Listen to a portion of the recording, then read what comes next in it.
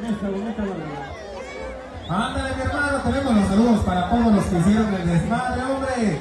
Yo te quiero preguntar si ya se cansó.